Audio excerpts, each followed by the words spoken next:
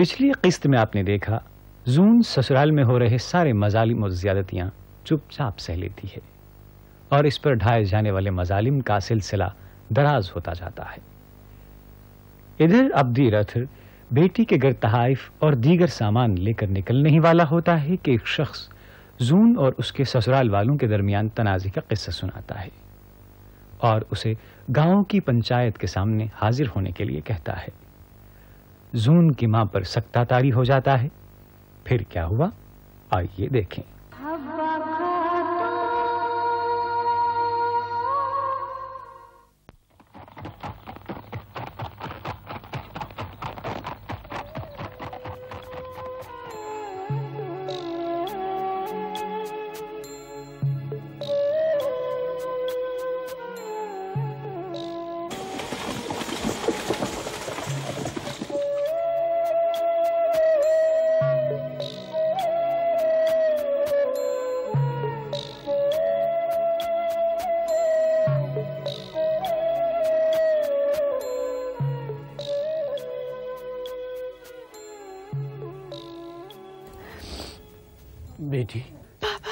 मेरी बच्ची।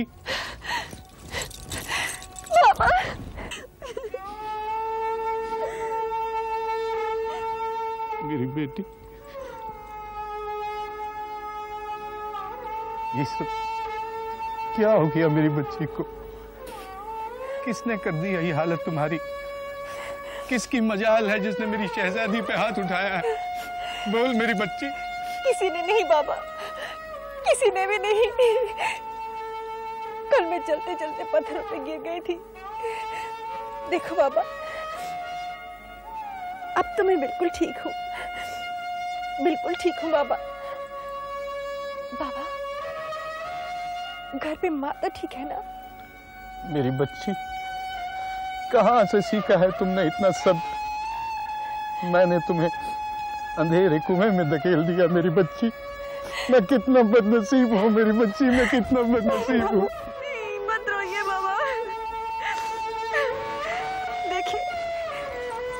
देखिए मैं तो चंगी भली हूँ।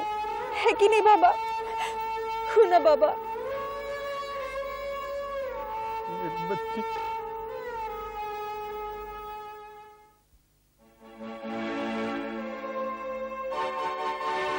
हुजूर ये बहू नहीं है। अरे ये तो वो मनुष्य औरत है जो मुझसे मेरा लगते जिगर छीनना चाहती है। मेरी बीवी झूठ बोलती है हुजूर। मेरी बहू जून ऐसी नहीं है। ऐसी नहीं है हुजूर। चुप रहो तुम। ये क्या जाने हुजूर? ये तो सारा दिन खेतों में लगे रहते हैं। हुजूर ये तो इतनी बदमिजाज औरत है कि अपने शोहर तक को मारने दौड़ती है। तौबा तौबा तौबा। न दुनिया में कभी ऐसा देखा न सुना। मेरी मेरी बीवी की ज़ुबान तो जहर उगलती है हुजूर। इसने अपना घर नहीं बसाया। अब बहू का घर उजाड़ना चाहती है। मेरी माँ सच कह रही है। नहीं चाहिए मुझे इस जैसी बीवी। अरे ये तो मेरी किस्मत फूटी थी, हजूर, जो इस जैसी झगड़ालू बीवी को मैंने अपने पल्ले बाँध दिया। खुदा रहम। अब्दी राथर जी हजूर, क्या कहना है आपको? एक बेटी के बाप होने के नाते मैं क्या कह सकता हूँ हजूर? मैं तो क्या ये सारा गाँव मेरी बेटी को जानता है?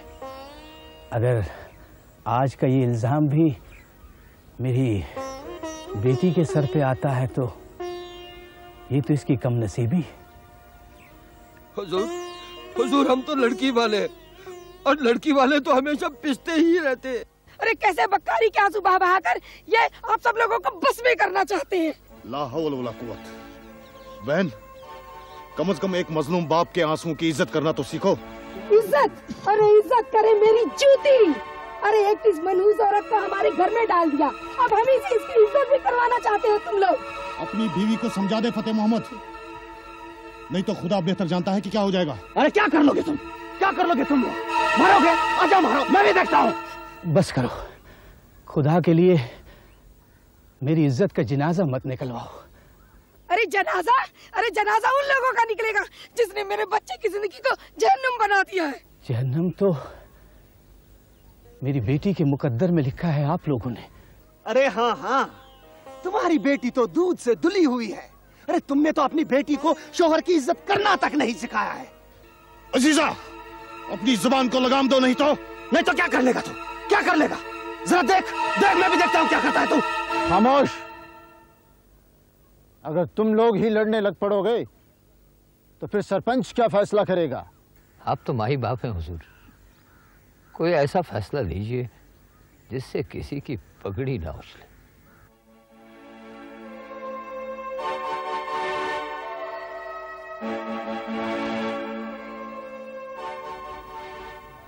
ठीक है।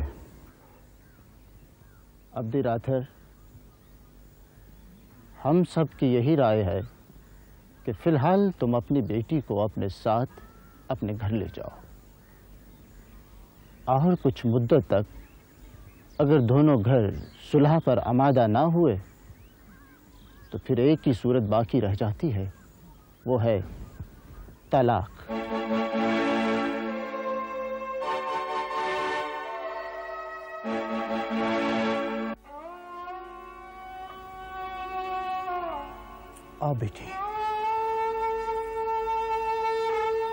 चलते हैं हम लोग। हाँ। चलते हैं। अगर हमारे मुकद्दर में यही जिल्लत और रुसवाई लिखी है तो यही सही। यहाँ गाँव में हम लोगों का दर्द समझने वाला कोई नहीं है। कोई नहीं है बेटी। चलते हैं। हाँ हाँ। ले जाओ ले जाओ अपनी इस मनोज बेटी को। अरे, जैसा बाप वैसी बेटी। अब खुदा।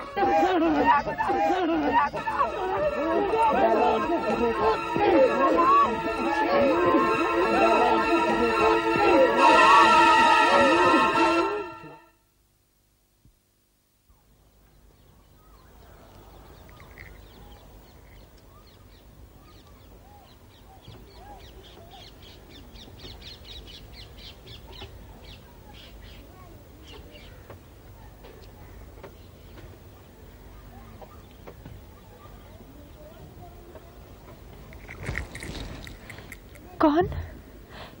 बाबा? मेरे प्यारे बाबा। ईद मुबारक मेरी बेटी। ईद मुबारक। देखो आज तो ईद का दिन है और आज के दिन लिखना पढ़ना बंद। हम्म। आज तो सभी बच्चे अपने माँ बाप के पास बैठते हैं। पर बाबा मैं थोड़ी बच्ची हूँ। अरे क्या हो गया मेरी बच्ची को? जिसका दिल इतना साफ़ इतना मासूम हो। वो तो बच्चा ही होता है। और तुम तो हो ही बच्ची। अभी तुम्हारी उम्र ही क्या है? चलो अंदर चलो नहीं बाबा। देखो बेटी तुम्हारी माँ ने सुबह से कुछ नहीं खाया है। तुम्हारा ही इंतज़ार कर रही है।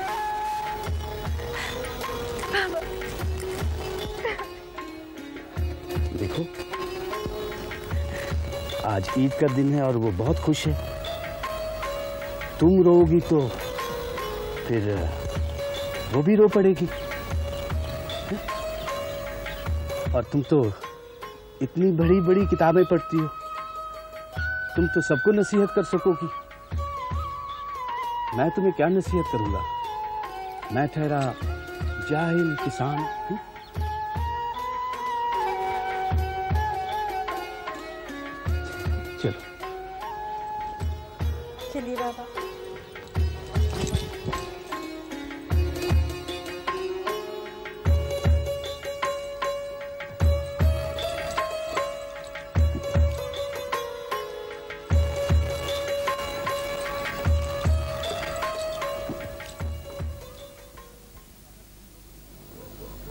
अगर तुम लोगों ने जूनी को यहाँ लाने का ज़िक्र भी किया ना मैं अपनी जान दे दूँगा।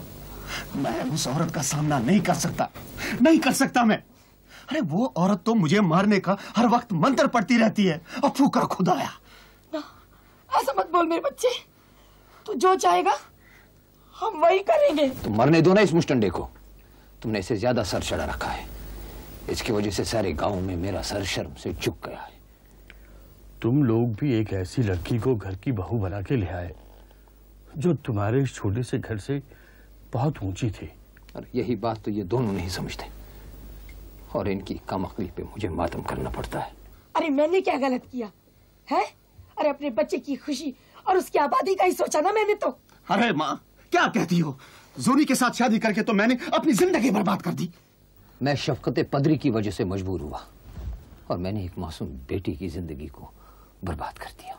गलती हमारी नहीं थी समझे ना? अरे अगर जून इतनी ही दूधो नहाई थी तो अब्दी राथर को इस रिश्ते से इनकार कर देना चाहिए था। हमने अपना बेटा छुपा कर रिश्ता नहीं मांगा था उनसे हाँ। अरे तकदीर के आगे बेबस हो गया बेचारा। अब इस गाँव का कोई भी आदमी जून को वापस बुलाने का गुनाह नहीं करेगा। बेहतर है कदल बल के मौलवी साहब के पास जाकर इस मसले का शरई तौर पे निपटारा कर दो। अरे कोई ज़रूरत नहीं है कदलबल के मौलवी के पास जाने की। ये जूनी तो उसी कदलबल के मौलवी के पास पढ़ा करती थी। वो मौलवी भी उसी की तरफदारी करेगा। अरे तब तू क्या करेगा अजीजे? अच्छा है उसे वापस बुला के घर बसा ले।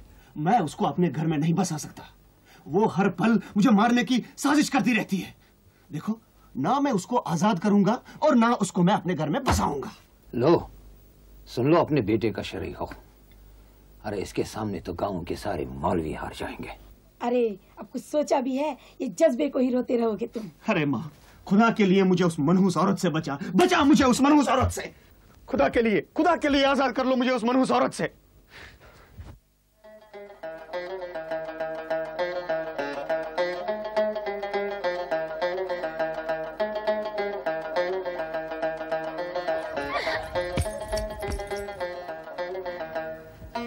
वो रही वो काहिल कामचोर। देखो क्या मुँह लटकाए बैठी है। ऊपर क्या कर रही है? नीचे आ।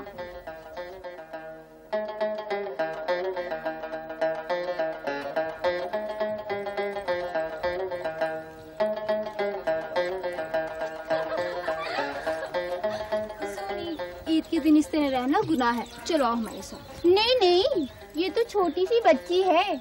इसे तो ईदी देनी पड़ेगी। नए नए कपड़े पहनाने पड़ेंगे। मेरी कोई ईद नहीं है राज़ी। कोई ईद नहीं है। मेरी ज़िंदगी में तो सिर्फ़ गम के अंधेरे लिखे हैं। नहीं सुन। नहीं तुम ऐसा क्यों सोच रही हो? धूप के साथ छाव भी लगी रहती है। कैसी धूप कैसी छाव। मेरी ज़िंदगी में तो सिर्फ़ धुआँ ही धुआँ है। सब ठीक हो जाएगा जुनी तेरे अच्छे दिन भी आएँगे। हाँ जुनी। अब तुम इस तरह ना सिर्फ़ अपने आप को मार दोगी बल्कि अब्दी मौसा और मौसी को भी दुखी कर दोगी। मैं तो उनके लिए एक दुख बनकर पैदा हुई हूँ। नहीं तुम्हारे आने से तो उनका गुलशन खिल उठा है। क्यों झूठी तसल्ली से बहलाने की कोशिश कर रही हो? मेरे आने से उनका चमन वीरान हुआ है। मैं बदनसीब जो अपना मुकद्दर भी ना बना सकी। उनकी तकदीर क्या संवार सकती हूँ। मैंने खुद अपने दिल को अरमानों का कब्रिस्तान बनाया है। नहीं जून ऐसा मत कहो।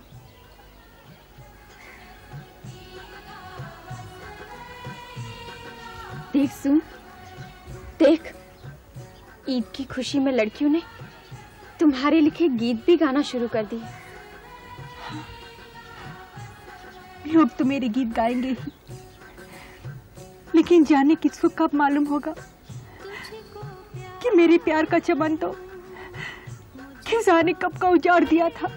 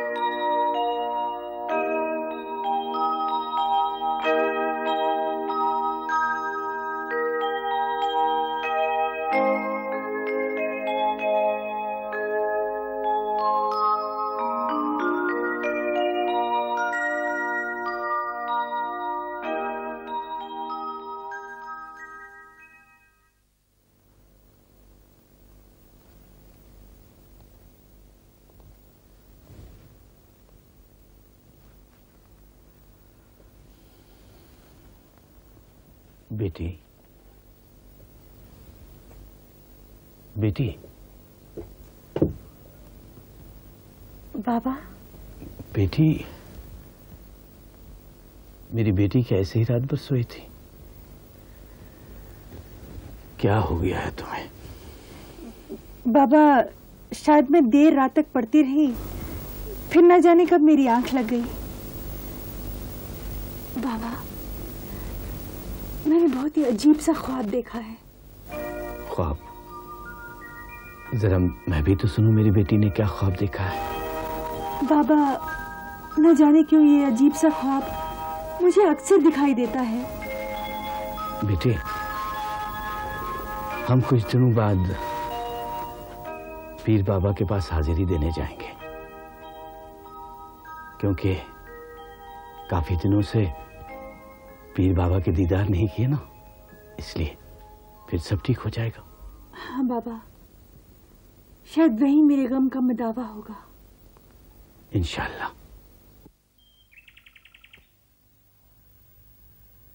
चलो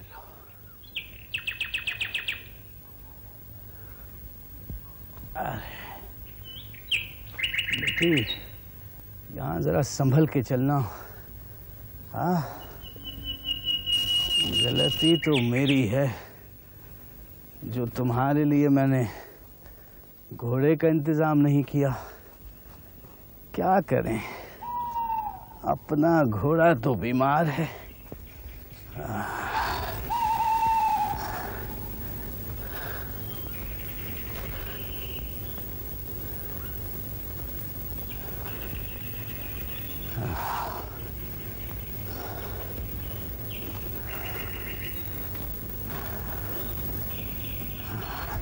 अरे अरे अरे। अरे, क्या हुआ मेरी बेटी को? हाँ? बाबा अरे, मेरी बेटी।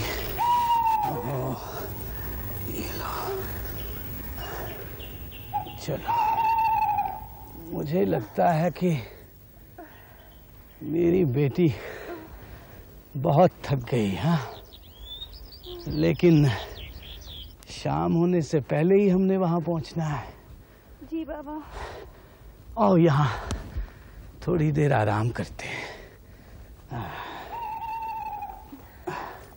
आओ। चलो। अरे। अरे। अरे।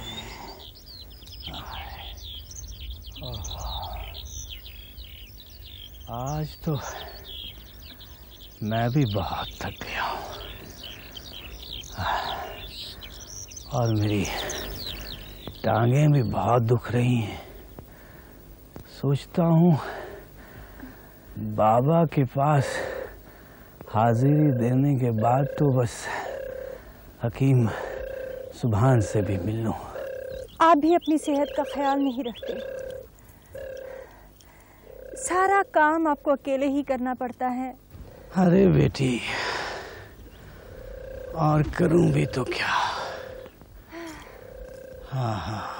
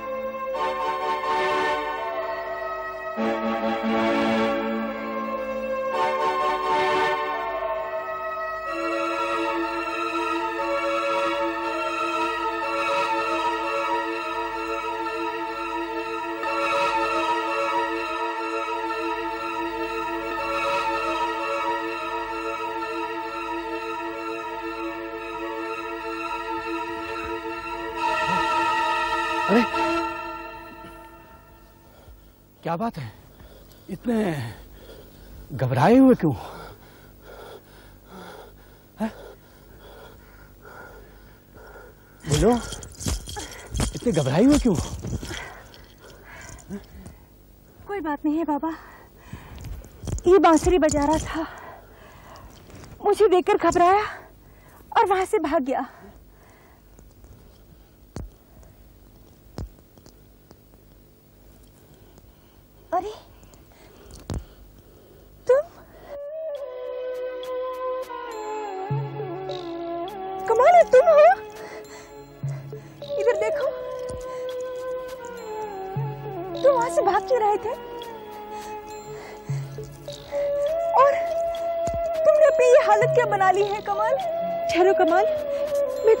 पिलाती हूँ।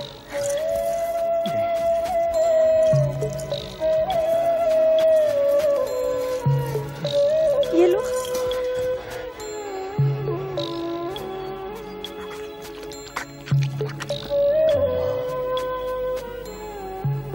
ये वो कमाल तो नहीं है जो शहर से आया था।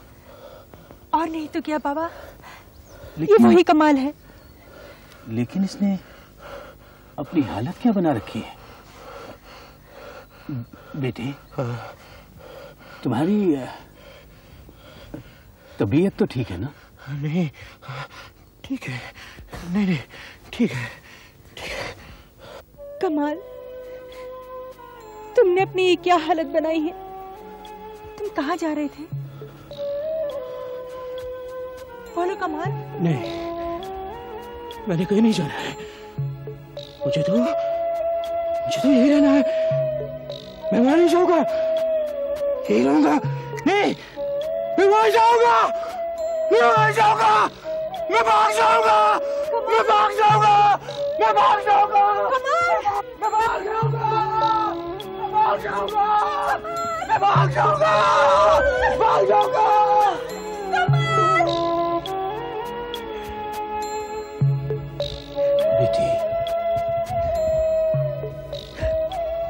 ये सब तो तकदीर का खेल है।